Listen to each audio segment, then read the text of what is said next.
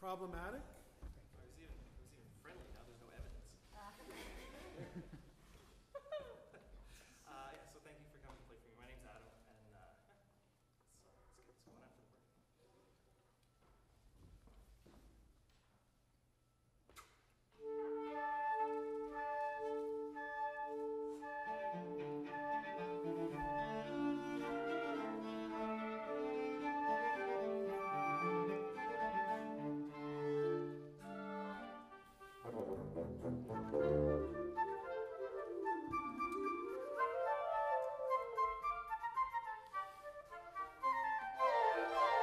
Thank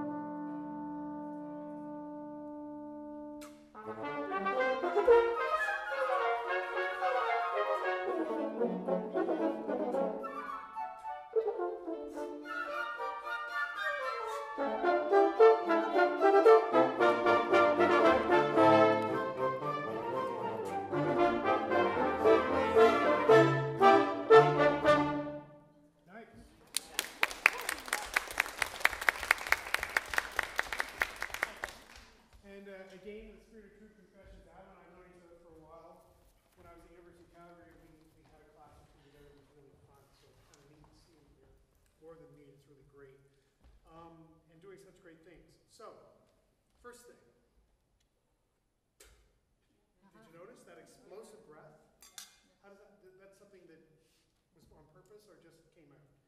That's, that's one of those things, I, I worked hard to, to get it, and now it's a habit that I can't get rid of. and, and you know, Adam's a percussionist by, by trade, so this we're dealing with breath people is always something you got to practice. So there's a variety of things. We have the chamber music sniff. Sorry. That's something you get, I know, in string quartets. It's actually a real thing they talk about. I've been to master classes where people talk about this, which is hilarious. But I think more than anything else, a player breath at the most.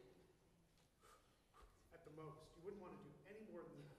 But that really gives us an explosive pop. So you want to avoid that. That may not, may or may not go, away right now, and that's good. How do, how do you feel? How's the arm feel? Because we've been talking about a, a shoulder thingy. That Um, looked really free It, it felt pretty good. It, I wasn't doing all the, until the very end when you got way into it, I right? got pretty excited. You got very excited. That's good. I, I, li- I like that. Okay. Um, there's one thing that you're doing which is okay. So where where will we go? Let's go with E, shall we? And I love that. So give us. Dee-da-dee-da-dee. Isn't that a nice idea? That is so musical. Now, as you were doing it, there's a habitual thing where you're, where you're pushing beat two, which is interesting, and there's actually places where it works. Let me show you. There, there, there. There, there, there. There, there there. But not all the time. And if it's not a habit, it's fantastic. And if you know exactly when to use it, because, and that's, that means you've got to relinquish the main melodies and dig into where the accompaniment is going. So I want you to try that,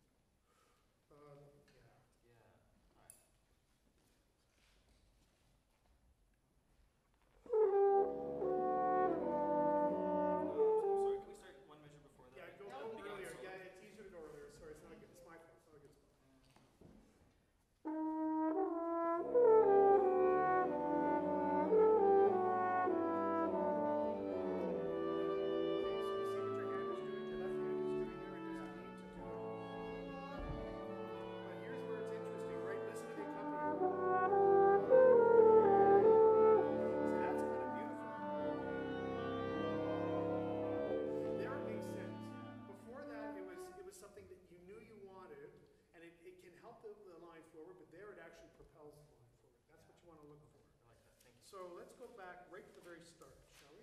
Just for a moment. We're going to very start and very end.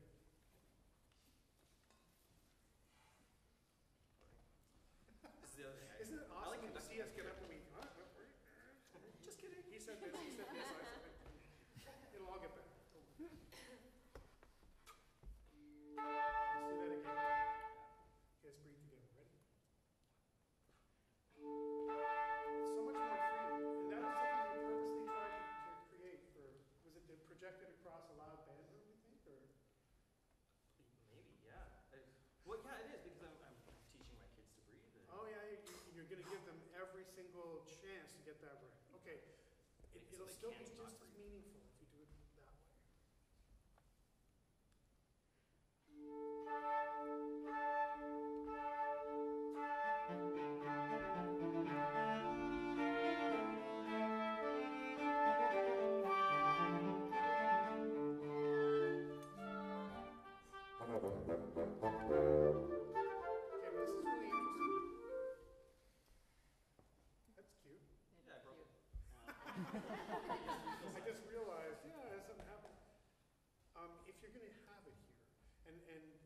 interesting thing, it's, it's different for everybody. Some people have been saying, stop doing that. Here, I think you could make this more sympathetic to the beat. Right now, it feels like it's, it's very much incidental to the beat. And, and by the way, I was gonna invite Armin, this is Dr. Armin Hall, in case you guys didn't mm-hmm. realize that. He's here from University of Memphis. Yes. And he is going, I always get it wrong if it's Memphis State or University of Memphis. Anyway, he's gonna, I asked him to say some stuff too. So anything you wanna add to what we've just been saying? Well, I, it- that was a part of um, what seemed to be concerned just as a player, because I feel time you do really well, but the hand sort of wags in a different sort of tone. That's very And Every time we get to a new phrase, I feel the energy of where you want, but your hand, especially from the wrist out, seems to be behind it. Okay. So I can't tell if you're wanting us to slow down, and if you got excited, you're like, oh, I didn't mean to go that fast, that sort of thing. Right. Um, the other comment I would say, at E, I love the fact that you got consistent and you kept us in the two, but it felt so grandiose, and I couldn't tell. Once you get us into the two, can you be specific about where the line was, about, you know, bringing out those sorts of things? Because you'll see the first time, it was just really big, and I just kept looking at my dynamics, and I'm like, maybe I just need to be playing bigger, because he's asking for it. Right, yeah, yeah. And you know, you, you can actually get away with a lot of grandiose if you do it more on the Yes. horizontal plane. Because dee da dee da means different than dee da dee or dee da dee da da is different than this. It's using almost the same space, right? It's very interesting how that works. But I, I, I would actually say you don't need that much space to call the line. Just use use only enough energy to get to make the thing work. So why don't we go from D into E, and we'll, and we'll take it through.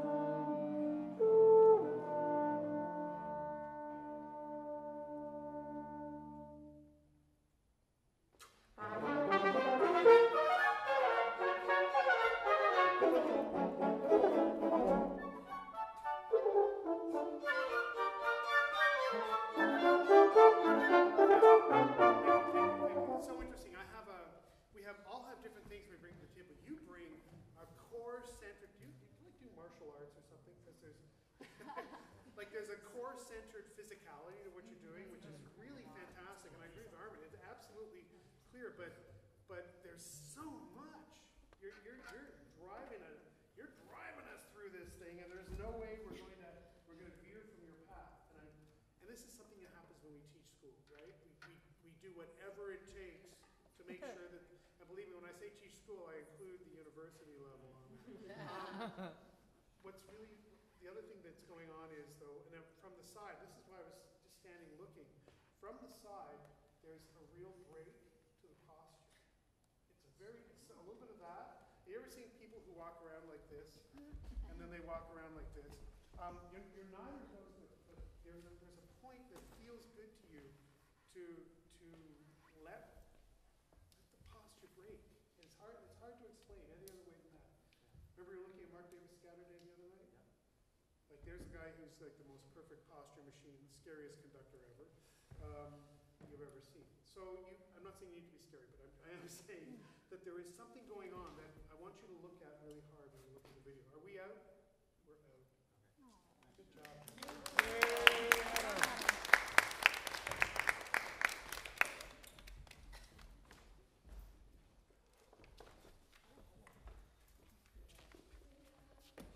So did you figure out how to, is that what you were doing, figure out how to